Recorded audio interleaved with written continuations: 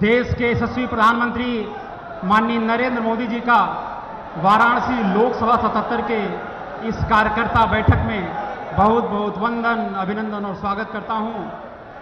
सम्मानित मंच को प्रणाम करता हूँ और उत्तर प्रदेश सरकार के यशस्वी मुख्यमंत्री माननीय योगी आदित्यनाथ जी को आमंत्रित करता हूँ कि हम सबको आशीर्वचन, हम सबका मार्गदर्शन करें।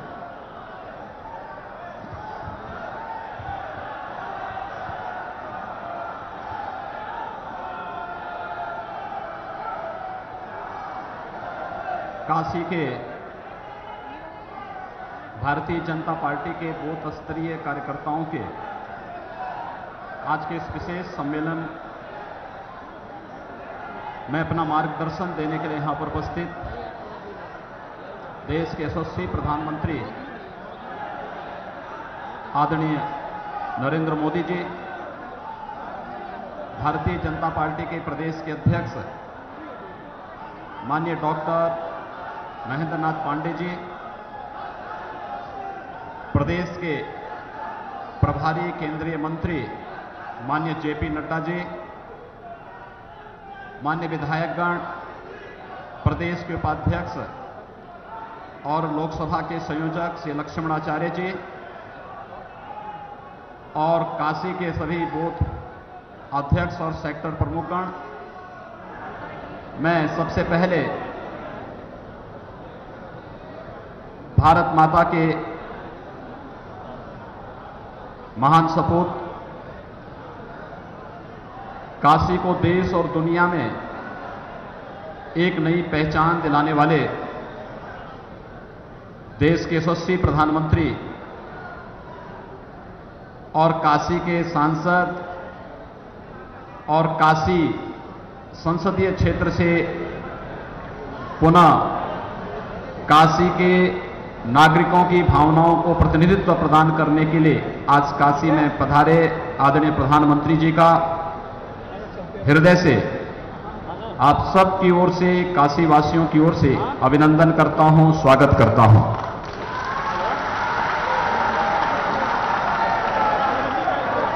काशी के 1819 बूथ अध्यक्ष 226 सेक्टर प्रमुख और अन्य पदाधिकारियों के आज के सम्मेलन में आदरणीय प्रधानमंत्री जी का मार्गदर्शन चुनाव के पूर्व काशी के कार्यकर्ताओं में एक नई ऊर्जा का संचार करने की दृष्टि से हम सब के लिए अत्यंत महत्वपूर्ण है।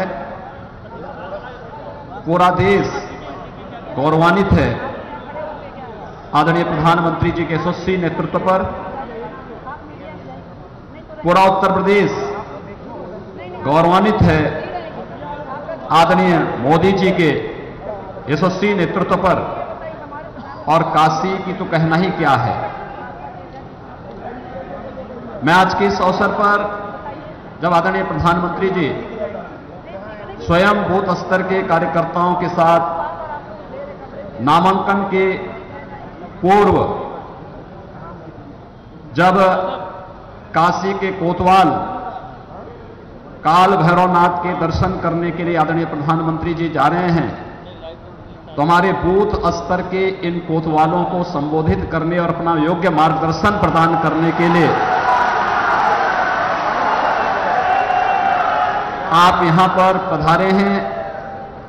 मैं भारत माता के इस महान नंदन का काशी की, उनकी काशी में काशी को जो भावनात्मक तस दिया है प्रधानमंत्री जी ने, कल काशी के द्वारा उमड़ता हुआ जन समुदाय, आप सबने देखा होगा, पूरी काशी किस रूप में आदरणीय प्रधानमंत्री जी के स्वागत और अभिनंदन के लिए उमड़ पड़ी थी। और आज यहाँ पर 1819 बूथ के अध्यक्षगण और 226 सेक्टर प्रमुख अरण्य ऊपर के पदाधिकारियों के इस विशेष सम्मेलन में भारत माता के इस महानंदन का वंदन और अभिनंदन करते हुए हृदय से यहाँ पर आदरणीय प्रधानमंत्री जी को सादर आमंत्रित करता हूँ कि अपना योग्य मार्गदर्शन काशी के इन सभी कार्यकर्ताओं को देने की कृपा करें।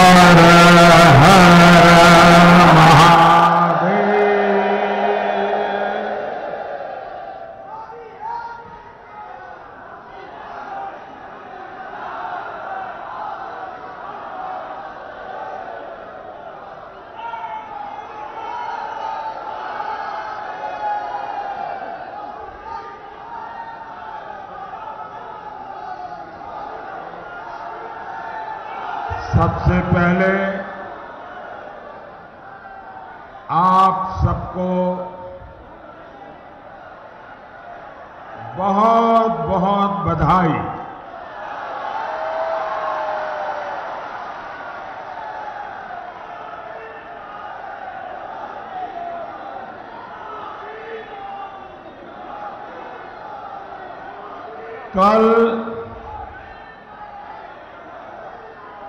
जो दृश्य मैं देख रहा था, उसमें मुझे आपके परिश्रम के, आपके पसीने की महक आ रही थी।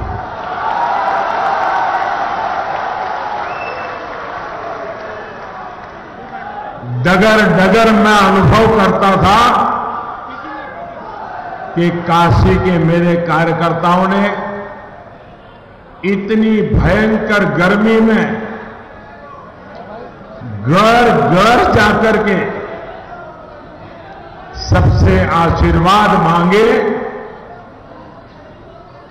मैं भी बुद्ध का कार्यकर्ता रहा हूँ।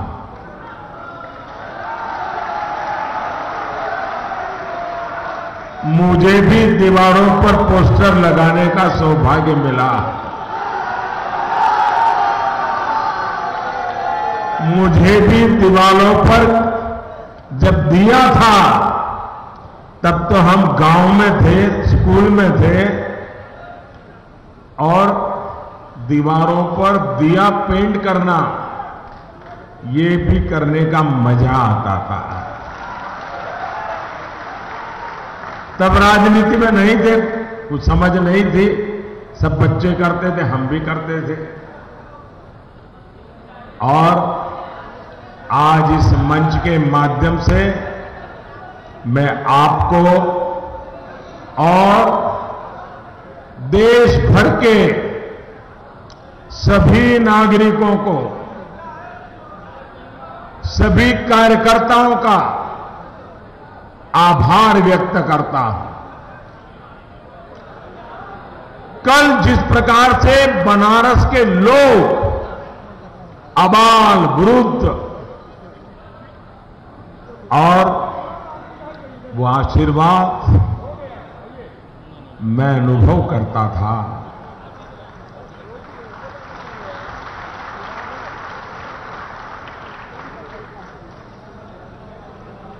जैसे परिवार में अपना खुद का मुखिया, वो आशीर्वाद देता है जो अनुभव करते हैं। मैं कल हर काशीवासी में वो अनुभव करता था।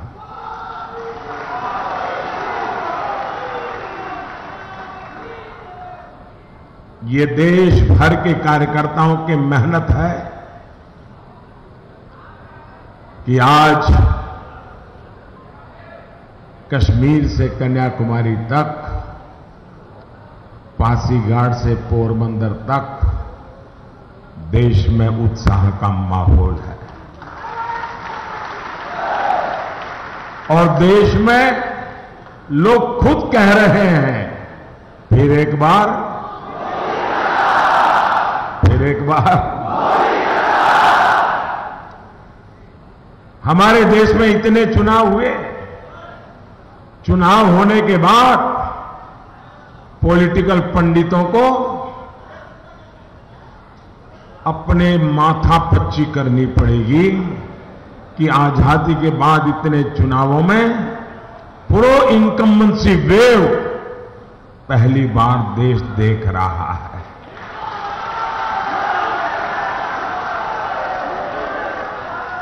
जनता ने मन बना लिया है। और इतिहास का मैं फिर कहता हूँ, पहला मौका है कि इस तरह का चुनाव लड़ा जा रहा है। जनता हमें जितना प्यार दे रही है, उसके प्रति हमें हर पल आभार जताना है।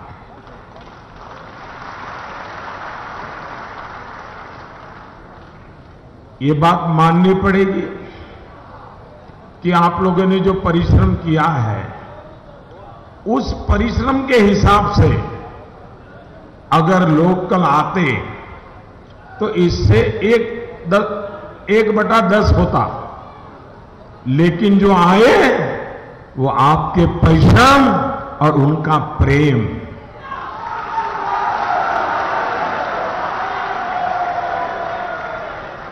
कार्यकर्ता का परिश्रम और प्रजा का प्रेम, ऐसा अद्भुत संगम कल था। और उसी में से तो एक ये दिव्यता की अनुभूति होती है।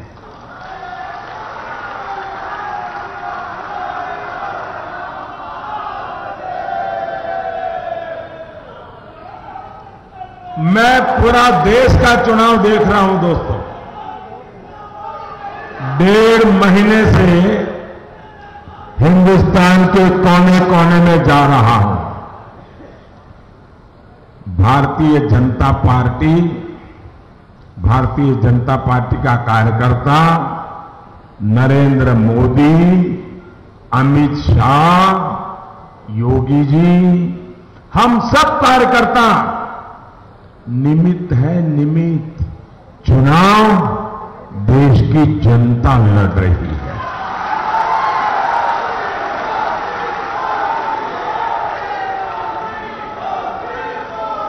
और देश की जनता पाँच साल के अनुभव के आधार पर अनेक आशा, अपेक्षा, आकांक्षाएँ लेकर के हमसे जुड़ गई है, दोस्तों। ये बहुत बड़ा सौभाग्य है। पूरे देश के राजनीतिक चरित्र को बदल दिया है। क्योंकि पहले सरकारें बनती थी, लोग सरकारें बनाते थे, लेकिन पाँच साल लोगों ने सरकार चलती है, ये भी देखा है।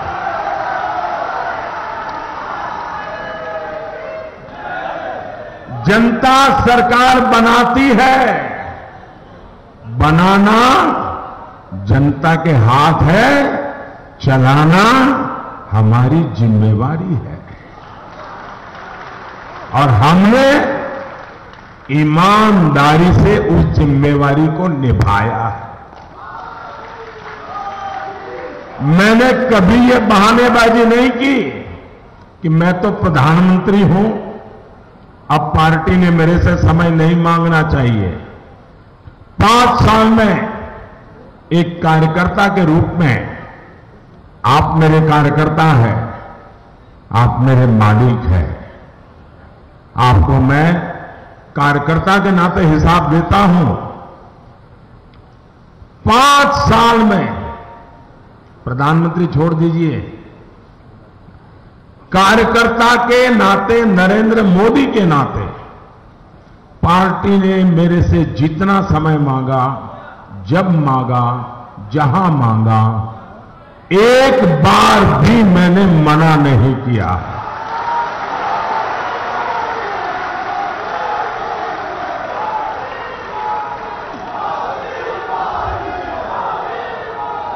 कार्य समिति में भी एक कार्यकर्ता की तरह पूरा समय बैठता हूँ।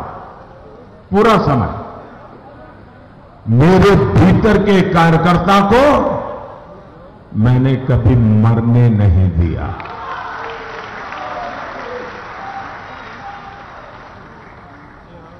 और प्रधानमंत्री के रूप में मैं जिम्मेवारी निभा पा रहा हूँ। इसका कारण मैं पीएम के नाते जो दायित्व है, उसमें सजग हूँ, लेकिन एमपी के नाते जो जिम्मेवारी है, उसमें भी इतना सजग हूँ। और भाजपा के कार्यकर्ता के रूप में भी उतना ही एक बिल्कुल ज़मीन के कार्यकर्ता के नाते कैसे काम करना चाहिए, ये आपने मुझे सिखाया है। आज पार्टी हमारी बड़ी है।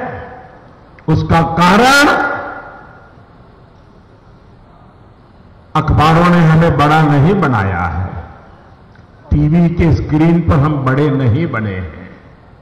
हम बड़े परिवारों से नहीं आए हैं। हम छोटे छोटे छोटे कार्यकर्ता हैं।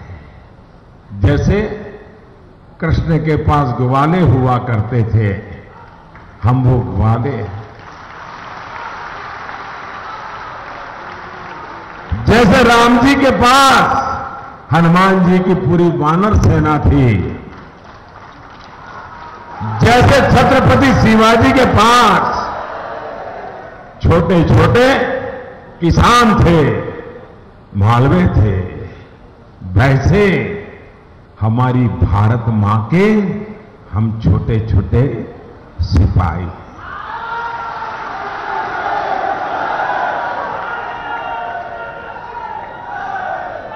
और कृष्ण में गोवर्धन उठाने की ताकत नहीं होगी, ऐसा मैं नहीं मानता हूँ। वो अपनी तचली उंगली पर वो गोवर्धन उठा सकते थे। लेकिन कृष्ण ने हमें संगठन शास्त्र सिखाया है, हर ग्वाले की लकड़ी का उसे सहारा चाहिए। ये चुनाव भी मोदी नहीं, ये छोटे छोटे ग्वाले अपने हाथ लगाया है ना उसके कारण जीत और इसलिए एक एक वोट बहुत महत्वपूर्ण होता है बहुत महत्वपूर्ण होता है।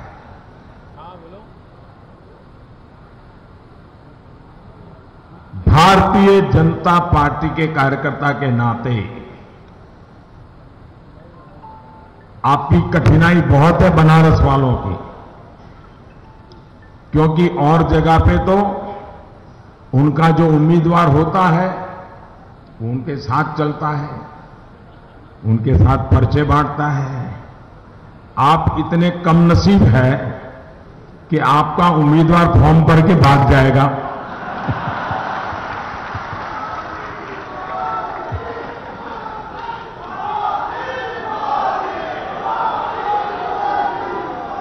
लेकिन आपका उम्मीदवार इतना भाग्यवान है कि वो कहीं पर भी रहे।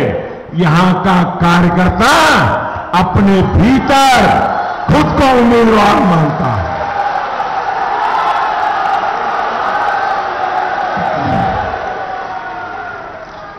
देखिए, इस चुनाव के दो पहलू हैं। एक है काशी लोकसभा जीतना।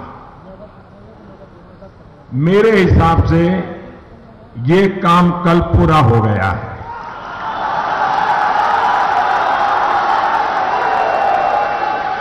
हो गया है ना? एक काम अभी बाकी है। एक काम अभी बाकी है। वो है पोलिंग बूथ जीतना।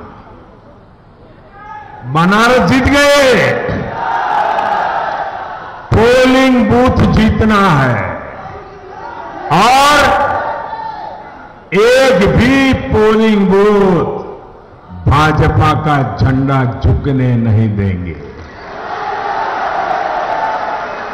मोदी कहता है, मैं देश झुकने नहीं दूँगा।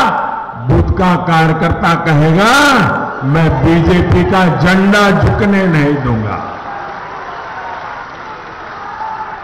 आज नामांकन के बाद, नामांकन के बाद बनारस लोकसभा लड़ने के लिए कुछ नहीं करना है। मोदी हारे जीते भूल जाओ। मोदी का जो होगा, वो गंगा मैया देख लेगी। लेकिन मेरा पोलिंग बूथ का कार्यकर्ता नहीं हारना चाहिए। चुनाव जीत करके मुझे आनंद नहीं होगा अगर एक भी पोलिंग बूथ में मेरा कार्यकर्ता हार गया। और इसलिए अब आपकी स्पर्धा सिर्फ़ और सिर्फ़ एक ही बात पर केंद्रित होनी चाहिए। पोलिंग बूथ जीतना है। एक ही मंत्र मेरा बूथ सबसे मज़बूत। मेरा बूथ मेरा बूथ। दूसरा हमें कुछ रिकॉर्ड तोड़ने हैं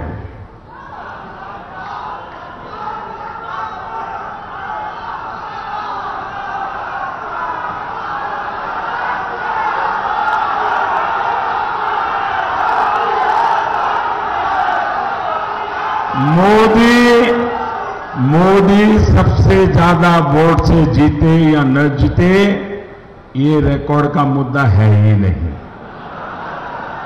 दुनिया पूछेगी नहीं, यार, तुम तो प्रधानमंत्री हो, तुम जीत के आए, उसमें क्या है?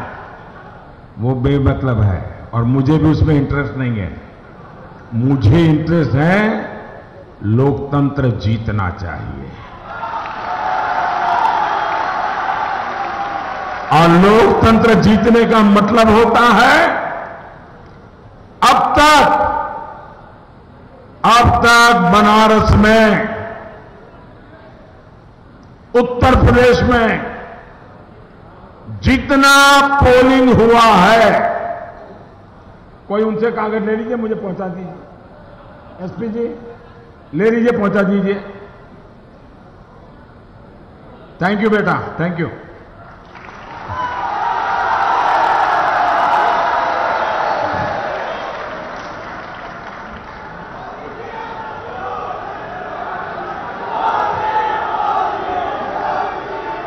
देखिए आप लोगों आप लोगों का प्यार है जो मुझे ताकत देता है। भाइयों बहनों रिकॉर्ड क्या तोड़ना है? मई महीने की 40 डिग्री गर्मी में भी दुनिया को दिखा देना है कि मतदान के पुराने सारे रिकॉर्ड हम तोड़ देंगे। ये कर सकते हो क्या? पुराने सारे रिकॉर्ड तोड़ देंगे क्या? मेरे मन की एक और इच्छा हमेशा रहती है। मैं चाहता मैं नहीं कर पाया, मैं गुजरात में भी नहीं कर पाया। लेकिन आप मुझसे ज़्यादा बहादुर आप कर देंगे। जो मैं नहीं कर पाया, वो आप कर सकते हैं। क्योंकि मेरा आप में भरोसा बहुत है। मैं गुजरात में हमेशा चाहता था कि पुरुषों की तुलना में महिलाओं का मतदान पाँच प्रतिशत ज़्यादा होना चाहिए। लेकिन मैं नहीं कर पाता था। क्या हम बनारस में कर सकते हैं क्या? ऐसे नहीं भाई, ढीले पड़ जाओगे, नहीं चलेगा।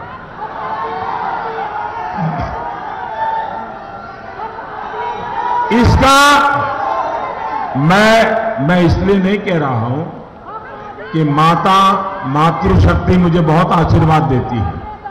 आज जो मेरी ज़िंदगी है,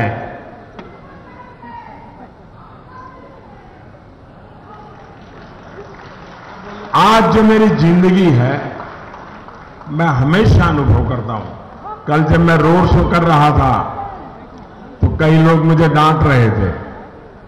कल रात को सोशल मीडिया में मुझे इतनी डांट पड़ी है।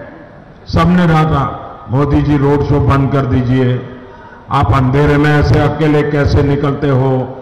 आपका सुरक्षा का मुद्दा है। अभी श्रीलंका में हुआ, आपको परवाह नहीं है। आप आप अपने मालिक नहीं हो। हम आपके मालिक हैं। आपको ऐसे नहीं निकलना चाहिए। मुझे बहुत डांट पड़ी है कल। बहुत डांट पड़ी है। लेकिन अगर मोदी की कोई सुरक्षा करता है तो इस देश की करोड़ों माताएँ बहनें।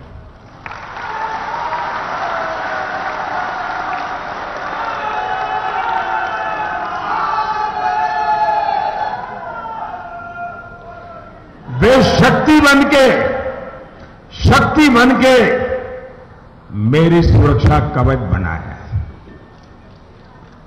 मैं हैरान हूँ, देश के कोने कोने में माताएँ, बहनें, जिसको जो रास्ता सुझता है, कोई पूजा पाठ कर रहा है, कोई व्रत कर रहा है, कोई घर घर जा रहा है, कोई बच्चे अपने बाहर है तो उनको टेलीफोन करके बोलते हैं, घर वापस आओ, वोट करके वापस जाना, घर वापस आओ, वोट करके वापस जाना। ये माताएँ बहनें कर रही है जी। क्या काशी में ये चुनाव जीतने हारने से लेना देना नहीं है दोस्तों। मैं मानता हिंदुस्तान के लोकतंत्र की ताकत 21वीं सदी की ताकत हमारी माता ही बहनें बनने वाली है। हम तय करें कि हमारे पोलिंग बूथ में अगर 100 वोट पुरुष के पड़ते हैं तो 105 वोट महिलाओं के पड़ेंगे। ये करेंगे क्या? ये करेंगे क्या? पक्का करेंगे? दूसरा, आपके पोलिंग बूथ में जो पहली बार वोट करने वाले हैं, जिनका जन्म 21वीं सदी में हुआ है उन सबका अलग लिस्ट बनाओ। बनाएँगे? जो पहली बार लोकसभा में वोट देने वाला है, उनका लिस्ट अलग बनाओ। उन सबको इकट्ठा करो। वो किसी भी दल का हो, चिंता मत करो। देखिए, दल बल सब बाद में। किसी के दल का हो, किसी का भी बिल्ला लगा के घूमता हो, सबको बुलाओ। और इलेक्शन कमीशन का खर्च ज़्यादा आता नहीं हो, आना नहीं चाहिए। कम से कम एक गुड़ का टुकड़ा इन सबके मुँह में रखिए। छोटा सा काम है, उनका मुँह मीठा कीजिए। उनको लगना चाहिए कि वो 18 साल पूरे करके 21वीं सदी का वो निर्णायक होने जा रहा है, वोट करने जा रहा है, बड़ा सम्मान देना चाहिए। उसके हाथ में फूल दीजिए, सम्मान कीजिए, फूल वर्षा कीजिए उस पर। ये मतदान के लिए करने की बात नहीं कर रहा हूँ मैं। आने वाले पाँच सात दिन मेहनत करके तारीख तय करो। पहली बार वोट देने वाले बेटे बेटी उनका सम्मान, उनका गौरव। वो वोट किसी को भी दे। इसकी चर्चा मत कीजिए। बस तुम देश का भविष्य तय करो, ये बताओ। ये करेंगे? करेंगे आप? तीसरी बात। देखिए, लोकतंत्र एक फेस्टिवल होता है। एक उमंग और उत्साह होता है। हम दिवाली में फटाके फोड़ते हैं, फुलझड़ी चलाते हैं, लेकिन किसी को नुकसान हो, कोई खड़ा है और पीछे जाकर के तो बम नहीं फोड़ते ना? फोड़ते हैं क्या? नहीं फोड़ते ना? लोकतंत्र में भी। हमारा कितना ही विरोधी क्यों ना हो। टीवी इंटरव्यू में हम तू तू मैं मैं करेंगे, सब करेंगे। अखबार में करेंगे, भाषण में करेंगे। लेकिन दोस्ती, भाईचारा, ये लोकतंत्र की सही चीज़ है। करेंगे। कोई झग फिसा, झगड़ा कुछ नहीं होना चाहिए। और एक बार आप करेंगे ना, और दल भी ऐसा करना सीख जाएँगे। हमारा दायित्व है। हमारा दायित्व है। यहाँ चुनाव में सबसे बड़ा खतरा क्या है? सबसे बड़ा खतरा क्या है? अब देखिए, ये मीडिया वालों को बनारस के चुनाव में कोई इंटरेस्ट नहीं रहेगा। उनका टीआरपी खत्म हो गया। ये वर्ल्ड कप करते हैं ना? क्रिकेट का वर्ल्ड कप भारत पाकिस्तान के बिना कोई पैसे कमा ही नहीं सकता है। यहाँ भी उनको बस मान लेंगे कल के बाद, अब मोदी जीत गया। और ये सबसे बड़ा नुकसान करेगा। हमें किस पार्टी से कौन उम्मीदवार है ये है, वो नहीं है, फलाना नहीं है टिकना नहीं है। वो लंबा है, वो काला है, वो गोरा है, वो टेढ़ा है, वो मेढ़ा है। कृपा करके ऐसी चर्चा मत करें। बिल्कुल मत करें। हर उम्मीदवार सम्माननीय है। हर उम्मीदवार आदरणीय है। वो भी लोकतंत्र को मज़बूत बनाने के लिए मैदान में आया है। वो हमारा दुश्मन नहीं है।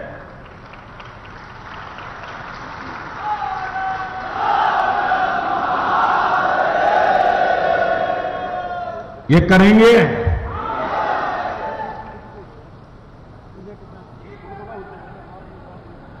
देखिए, मैं जानता हूँ लोकल लेवल पे कभी कभी मुश्किल हो जाता है। लेकिन हमने करना चाहिए। हमने हेकड़ी मारनी नहीं चाहिए। हम ही सब कुछ है। भगवान ने सब ज्ञान हमको ही दिया है। वो उसमें जो है, उनका हाल देश की जनता ने क्या कर दिया हेकड़ी मारने वालों का?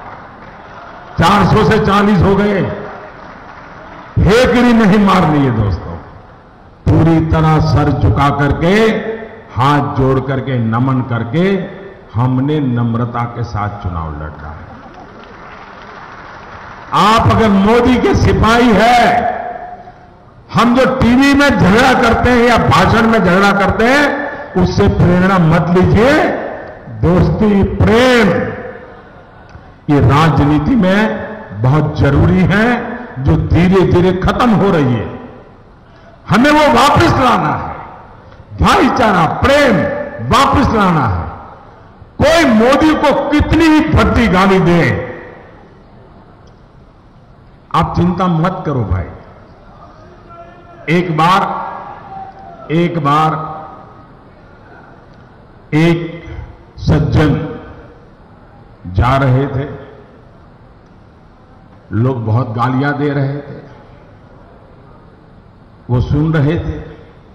हाथ लंबा कर करके उसको दे रहे थे। और वो अपना स्वस्थता से चले जा रहे थे। तो कहीं पर पहुँचे। तो लोगों ने उसे पूछा कि इतना सारा आपको गालियाँ दे रहे हैं, न जाने क्या क्या कह रहे हैं। चोर है, लुटेरा है, ये है, वो है। आप क्यों ऐसा चल रहे हो? कुछ पर चिंता ही नहीं है आपको? आप पर कोई असर ही नहीं है? तो सज्जन ने कहा, देखो भाई, तुम बाज़ार में कुछ भी लेने जाओगे और लिए बिना आओगे तो तुम्हारे घर कुछ आएगा क्या?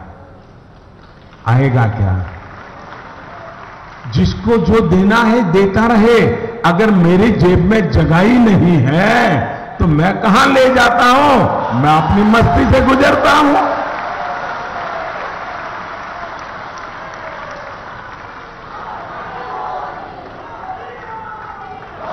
आप भी जिसको जो गाली देनी है, वो सारी मोदी के खाते में पोस्ट कर दो। मोदी के खाते में पोस्ट कर दो और मैं गंदी से गंदी चीज़ से भी खातर बनाता हूँ। खाद बना देता हूँ। कितना ही गंदा कूड़ा कचरा हो, मैं उसमें से खाद बनाता हूँ और उसी से कमल खिलाता हूँ।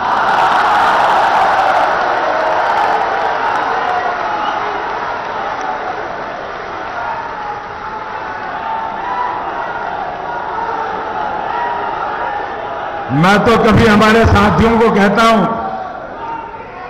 मैं जब पार्टी काम करता था, उस जमाने में नया नया टीवी का जमाना शुरू हुआ था।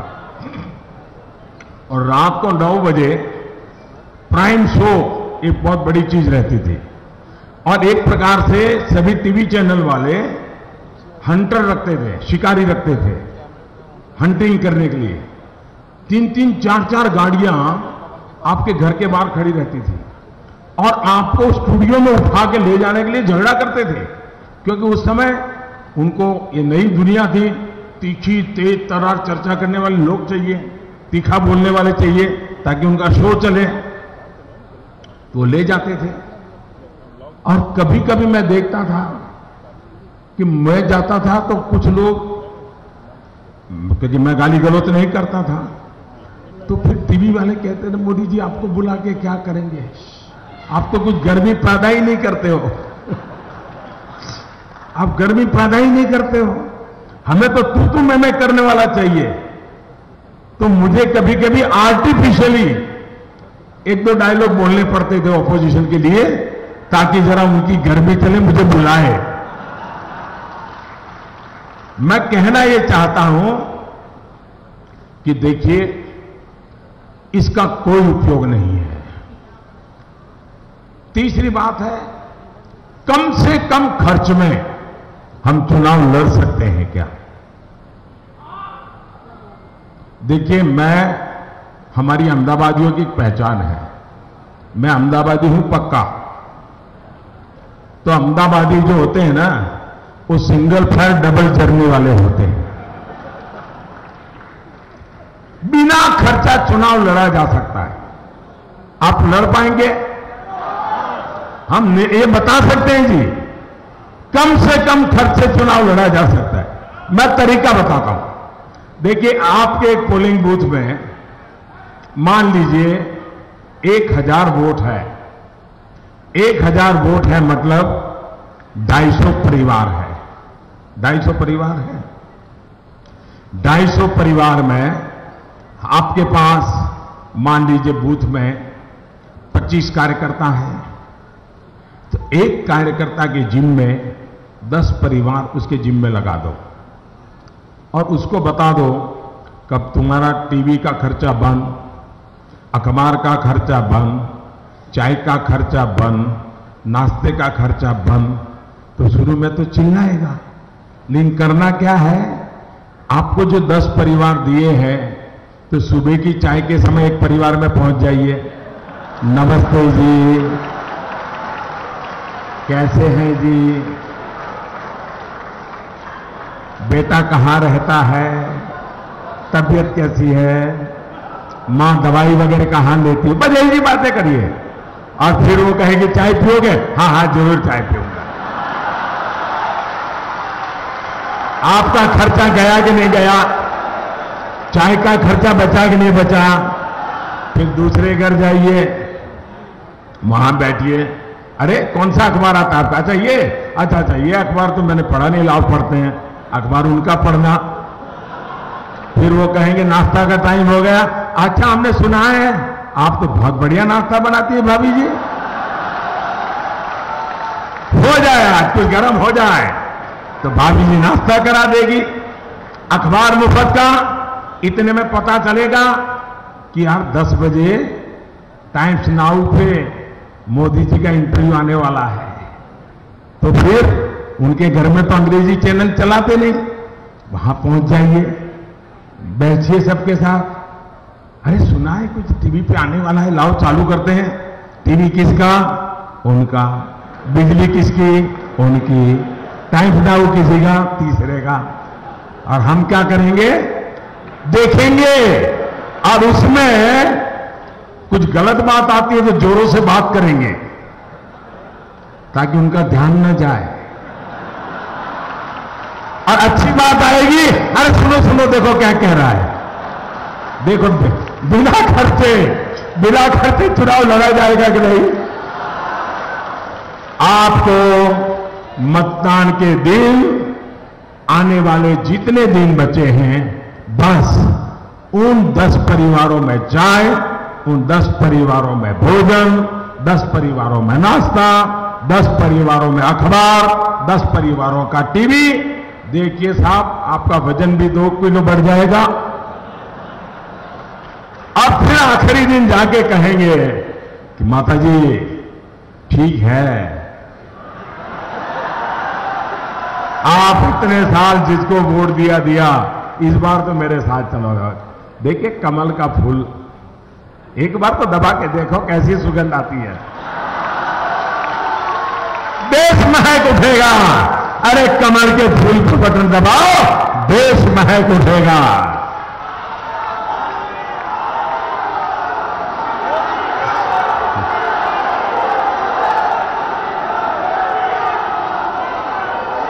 कर सकते हैं। कर सकते हैं। बिना खर्चा चुनाव हो जाएगा। फिर इलेक्शन कमीशन को नोटिफिकेशन निकालना पड़ेगा कि अगर आपने घर में भाजपा वालों को बुला के चाय पिलाई तो उसका भी खर्चा मोदी को देना पड़ेगा। दूसरा, ये जो फ़र्स्ट टाइम वोटर है, आज हर कोई मोबाइल फ़ोन उपयोग करता है। अगर आप सही चीज़ नहीं पहुंचाओगे तो गंदी चीज़ पहुँच जाती है। इसलिए नरेंद्र मोदी ऐप, इसको आप डाउनलोड कीजिए। दिन में दस बार देखिए। किसी के भी घर जाते हैं ना तो उसमें तीन चार अच्छी फ़िल्म आई हो, उसको दिखाइए। नरेंद्र मोदी, देखो सब लोग मुझे दिखा रहे हैं। हर एक के मोबाइल में है। ये नरेंद्र मोदी ऐप पर जो पॉजिटिव खबरें हैं, जो फ़र्स्ट टाइम वोटर है, जिनका एक छोटा सम्मेलन पोलिंग बूथ का करना है, उन सबके मोबाइल में नरेंद्र मोदी ऐप होनी चाहिए और उनको कहना चाहिए, एक पढ़िए, आगे पहुंचाइए, देश का भविष्य तय कीजिए। भाइयों बहनों बनारस का चुनाव ऐसा होना चाहिए कि देश के पॉलिटिकल पंडितों को उस पर किताब लिखने का मन कर जाए। एनालिसिस करने का मन कर जाए। और इसलिए मैं आपसे आग्रह करूँगा, आप कार्यकर्ताओं से मैं मिलने आया हूँ। अगर आपकी इजाज़त हो तो मैं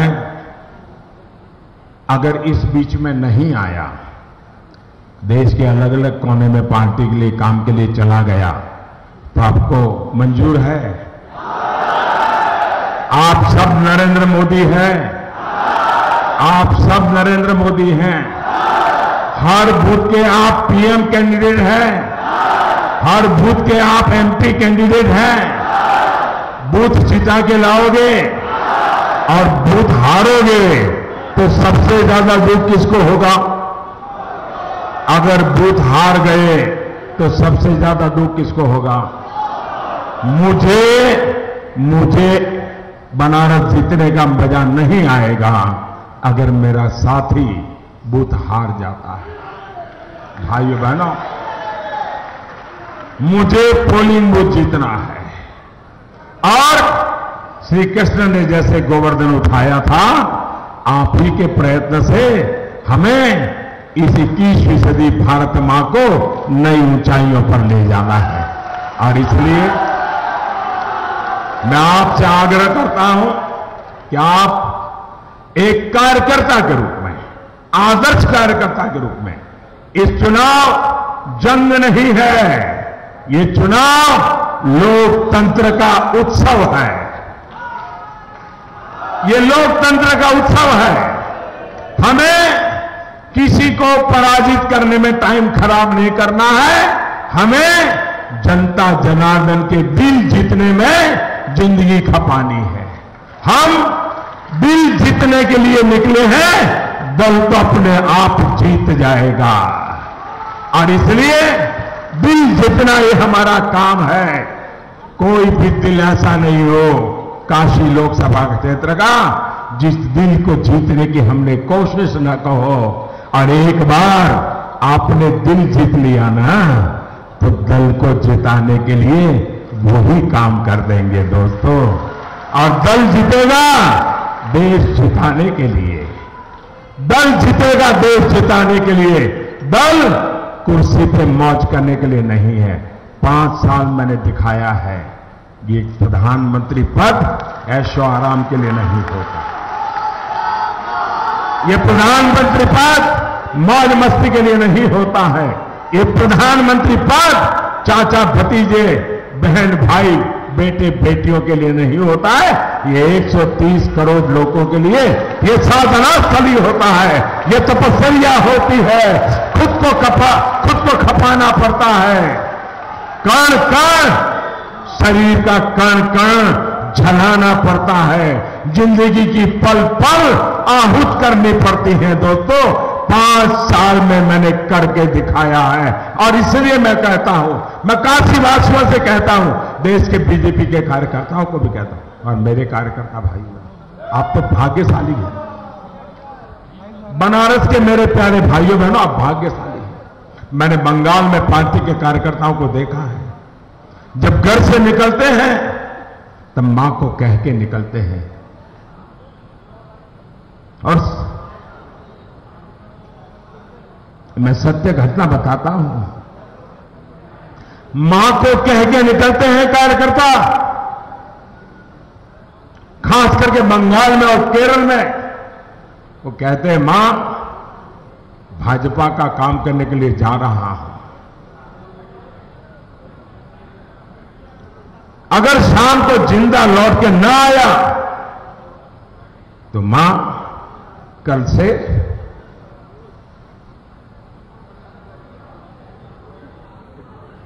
मेरे छोटे भाई को भेज देना।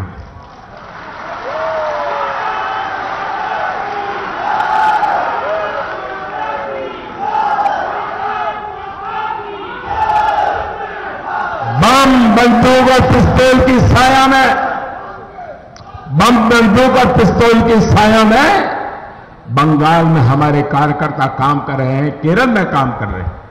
और क्रूरता इतनी है, जब कभी हम गुलामी के कालखंड में कुछ सल्तनतों में देखते थे कि पब्लिक को इकट्ठा कर करके फिर उसको मारते थे, काटते थे, बंगाल में भाजपा के परिवारजनों को अगर बीजेपी के लिए काम करता है तो जनता देख सके ऐसे, गाँव के पेड़ पर फांसी के लटका करके उसको टिंगाए रखते हैं और लोग देखते हैं, डराते हैं, फिर भी वो डरते नहीं है। बनारस के लोगों को तो ऐसा कष्ट नहीं है जो कष्ट केरल और बंगाल के भाजपा के कार्यकर्ता झेल रहे हैं। दोस्तों, इसलिए मैं कहता हूँ भीतर जरा भी कटुता नहीं बैर भाव नहीं। हर एक के दिल जीतना है। हमारा केंद्र बिंदु मतदाता होना चाहिए। हमारा केंद्र बिंदु न मोदी होना चाहिए, न प्रतिस्पर्धी होना चाहिए। सिर्फ़ और सिर्फ़ मतदाता यही हमारे केंद्र में होना चाहिए। इसी एक बात को लेकर के आप चलेंगे। फिर एक बार जो जुस्से से, प्यार से इस काम को आपने किया है, मैं आपका आभारी हूँ। पोलिंग बूथ जीतना ये आपकी जिम्मेवारी है। मेरा बूथ मेरा बूथ मेरा बूथ मेरा बूथ मेरा बूथ। हर हर महादेव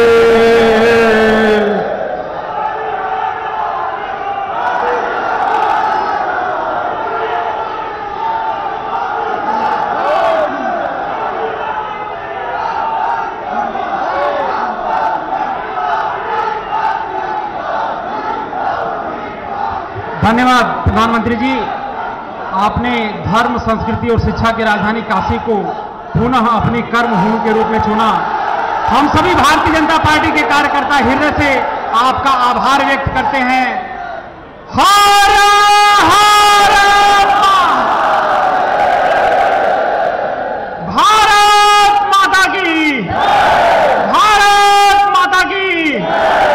आप सभी पदाधिकारी, कार्यकर्ता, सभी भाइयों, बहनों को आज की बैठक में उपस्थित होने के लिए सबका बहुत बहुत आभार, धन्यवाद।